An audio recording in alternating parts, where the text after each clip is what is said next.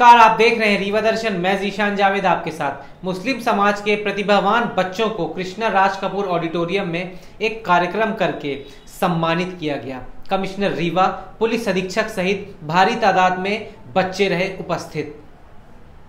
ता उम्र लिखूं मोहब्बत, यह तभी संभव है जब आप पढ़ लिख कर काबिल इंसान बनेंगे। इकरा वेलफेयर सोसाइटी के प्रतिभावान बच्चों के सम्मान समारोह में रीवा कमिश्नर डॉक्टर अशोक कुमार भार्गव ने तालीम को कुछ यूँ बयां किया। वहीं पुलिस अधीक्षक आबिद खान ने बच्चों के साथ पड़ोसियों के बच्चे पर भी ध्यान रखने की बात कही। इल्म और फन की दुनिया के बारे में आज हर आदमी जानता है। आज ज़रूरत है अपने बच्चों के साथ पड़ोसी के बच्चों को भी पढ़ाई लिखाई की तरफ़ तवज्जो दिलवाने की।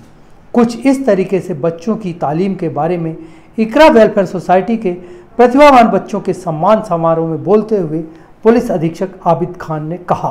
आइए आपको सुनाते हैं पुलिस अधीक्षक ने और क्या कहा। यहाँ पे कही गई। बातों को दोहराते न हुए मैं आगे बात करना चाहूँगा। यहाँ पे जो लोग आए हुए हैं मेजोरिटी लोगों को अच्छे मार्क्स लाने के लिए बच्चों को आ, कुछ यहाँ सम्मानित किया जा रहा है। तो ये माना जा सकता है कि आप लोग जो बैठे हैं वो पढ़ाई की तरफ़ काफ़ी तवज्जो देते हैं ध्यान देते हैं। आप लोग को मालूम है कि हाँ इल्म और फ़न की दुनिया क्या है। और आप ही को हम लोग ये बता रहे हैं कि इल्म और फ़न की दुनिया क्या है। मुझे लगता है कि हमें ये बात करनी चाहिए आप लोगों से कि आप लोग तो पढ़ा रहे हैं अपने लोगों को, लेकिन आपके आसपास जो लोग नहीं पढ़ा रहे हैं, उनके लिए हम क्या कर रहे हैं? मुद्दे की बात ये है। हम तो पढ़ा रहे हैं यार, आपके बच्चे नंबर ला रहे हैं, लेकिन आप ही के फैमिली में, आप ही के घर में और बच्चे हैं जो नहीं पढ़ रहे हैं। क्या आपके पड़ोस में जो हैं, वो और जो लोग हैं, वो क्या पढ़ रहे हैं? नहीं पढ़ रहे हैं तो क्यों नहीं पढ़ रहे हैं? क्यों स्कूल नहीं जाते हैं? क्या हम तब भी कर रहे हैं? क्या हम उनसे कुछ कहते हैं, कभी टोकते हैं? ये बड़ी इंपॉर्टेंट बात है। कोई भी आदमी, मुझे नहीं लगता जो यहाँ बैठा है, वो कभी, कोई आदमी ये कहेगा कि हाँ इल्म जो है, नहीं होना चाहिए या नॉलेज की इम्पोर्टेंस नहीं समझते। हम सब लोग समझते हैं कि नॉलेज क्या चीज़ है, उससे क्या फ़ायदे होते हैं। लेकिन हम लोग क्या इसको अपने अंदर समझ पा रहे हैं? मतलब बात कहने सुनने की तक ही ख़त्म हो जा रही है कि हाँ हमें लग रहा है कि हाँ बहुत ज़रूरी है। पढ़ना बहुत ज़रूरी है। मुझे याद है मैं हज़ारीबाग में रहता था एनटीपीसी में काम करता था तो एक आ, किसी सज्जन के हमें घर में रहता था किराए पे। तो वो बड़ी फ़िक्र में रहते थे अपनी बच्ची और बच्चे की पढ़ाई को लेकर के कि बच्चों को पढ़ाना है, बड़ा पढ़ाना है, ये पढ़ाना है। इतफाक से वो भी मुस्लिम थे। तो अक्सर वो घर से बाहर निकला करते थे, जब गेट पे पहुँचा करते थे तो ऊपर बालकनी में उनके बच्चे खड़े रहते थे तो उनसे कहते थे कि, तुम लोग पढ़ लेना, पढ़ के रखना। तो क्या हम लोग यही काम तो नहीं कर रहे हैं कि गेट पे खड़े होके और बालकनी में बता रहे हैं लोगों को कि आप पढ़ लेना पढ़ लेना? देखिए, क्या होता है, ये ऐसे नहीं होता। अगर आप कभी भी हिस्ट्री पढ़िएगा, किसी भी बड़े आदमी, पढ़े लिखे आदमी की ऑटोबायोग्राफी पढ़िएगा तो आपको ये मिलेगा कि कोई भी चीज़ करने के लिए बड़ी मेहनत करनी पड़ती है और सेक्रीफाइस बहुत करना पड़ता है। सेक्रीफाइस हम करना नहीं चाहते। हैं हम चाहते हैं कि पिक्चर भी देखते रहें, शादी भी अटेंड करते रहें, घूमते भी रहें, कोई मौसम भी न छूटे, कोई प्रोग्राम भी न छूटे और फिर साथ में हमारा बच्चा जो है टॉपर भी हो जाए। तो ये सब चीज़ें एक साथ पॉसिबल नहीं तो इन दो बातों को मैं इन पे ज़ोर डालना चाहता हूँ कि हम लोग एक तो ये कि जो हम पढ़ रहे हैं और हमारे आसपास जो नहीं पढ़ रहे हैं, उनका क्या हो रहा है या हम क्या कर रहे हैं उनके लिए।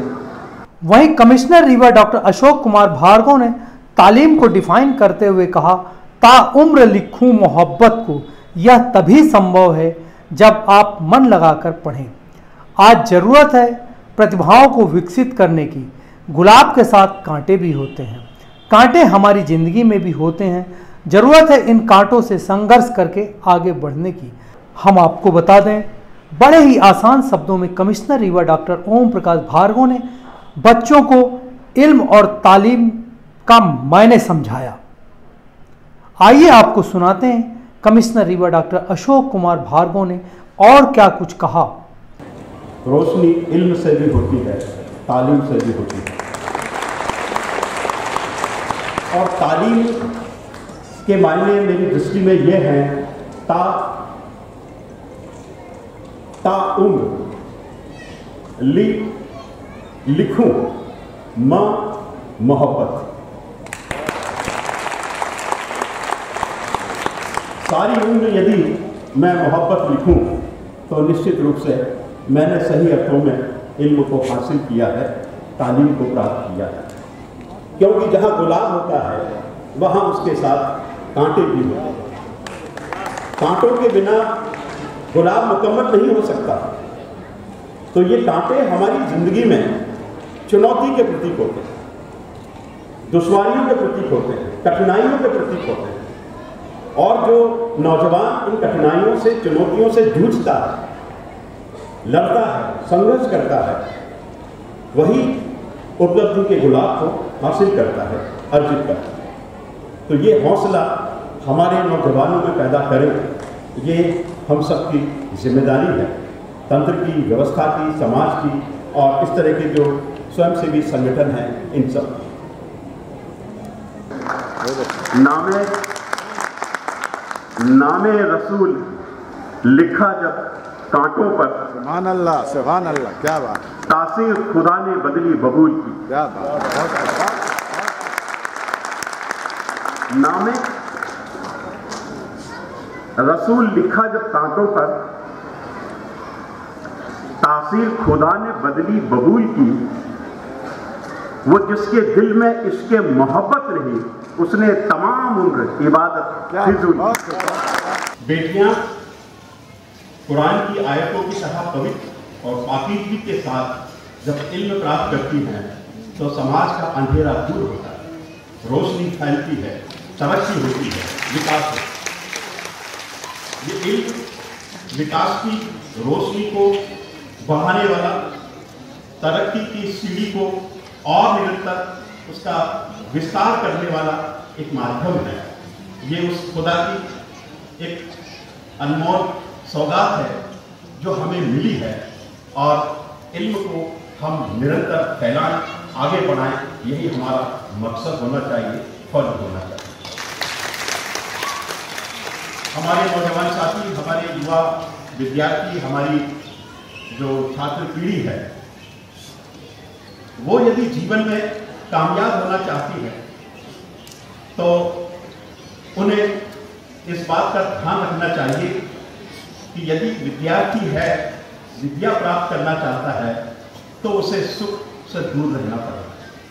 और यदि वो सुख प्राप्त करना चाहता है तो फिर उसके नसीब में विद्या नहीं आ सकती विद्या प्राप्त करने के लिए लगन की मेहनत की आवश्यकता होती है और इस दौर में कई बार निराशा भी होती है। लेकिन फिर मैं ये दोहराना चाहूँगा कि जिसमें हौ- जिनके हौसले चट्टान की तरह बुलंद होते हैं, कठिनाइयों का जो पहाड़ है, वो उनके सामने नतमस्तक हो जाता है। और इल्म प्राप्त करने के बाद हमारा जो सोचने का नज़रिया है, वो बहुत व्यापक होना चाहिए। उसका दायरा बहुत संकुचित नहीं होना चाहिए, क्योंकि इल्म हमें सही गलत की पहचान बताता है। इसी के साथ सिलसिला चालू हो गया मुस्लिम समाज के प्रतिभावान बच्चों के सम्मान का। इस बार लगभग 370 बच्चे चुने गए थे सम्मान के लिए, जिन्होंने अपने माता पिता के साथ परिवार का समाज का और सबसे बड़ी बात, स्कूल और शहर का नाम पूरे देश दुनिया में रोशन किया। हमने कुछ बच्चों से बात की, जिन्हें इनाम मिला, सम्मान मिला। बच्चों की खुशी देखने लायक थी। यहाँ पर यह भी गौर करने वाली बात है, मुस्लिम समाज के लोग पहली बार निकलकर शहर के बीचों बीच किसी बड़े मंच पर एकत्र हुए थे। वह भी एक अच्छे मकसद के लिए, बच्चों के सम्मान के लिए, उनके जज्बे को भी रीवा दर्शन सलाम करता है। बोलना मेरा नाम तैबा अनीस है। मैं मेमोरियल स्कूल की लड़की और मेरे मुझे मेरा सेवेंटी परसेंट रैंक है। मुझे प्राइज़ मिला है और इससे मेरे मम्मी पापा को बहुत खुशी मिलती है। मेरा नाम अर्शिया अतीक है। मैं ये टेंथ क्लास की मेरी ट्रॉफी मिली टॉपर की 95.6 परसेंट की। मेरा school second head community school है और ये एक वेलफेयर सोसाइटी के अकॉर्डिंग हम लोग को सम्मानित किया जाता है हमें अवार्ड दिया जाता है। it is for the encouragement of the all students and the motivation that they do can do better than uh, next time or they can what they ha haven't do now they can do better next time. So it is a very best uh, occasion for us that we get this award. अक्टूबर में government engineering college से मैंने BTech किया है final year है मेरा मेरे purse है seventy five ये जो इस तरह का ये कार्यक्रम है आज आपको सम्मान मिल रहा कितना इससे आप लोगों को प्रोत्साहन और मिलता है? मुझे इससे बहुत खुशी मिलती है जब हम मतलब वहाँ पर मतलब बुलाया जाता है स्टेज में तो हमको अच्छा लगता है कि हाँ हम अगली बार इससे अच्छे नंबर मतलब हासिल करेंगे। हमको मतलब एक मतलब खुशी मिलती है हमें और मतलब मेरे पेरेंट्स को मेरी जो मतलब सोसाइटी है उनको एक अच्छा लगता है कि हाँ लड़की गई है तो हमें भी कल मतलब प्राइज़ मिलेगा।